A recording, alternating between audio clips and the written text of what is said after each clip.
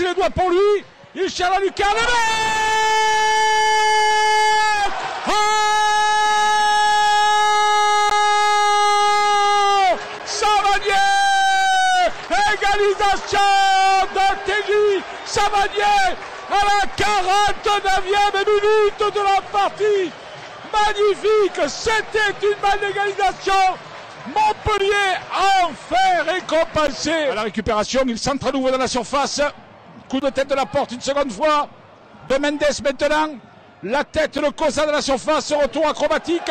Balle déviée, le but de Mavidi Le but de Stéphie Mavidi TJ Savanier, le centre, la tête. À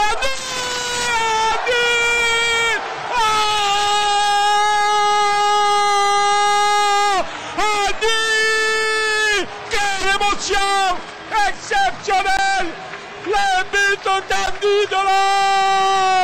Oui, troisième but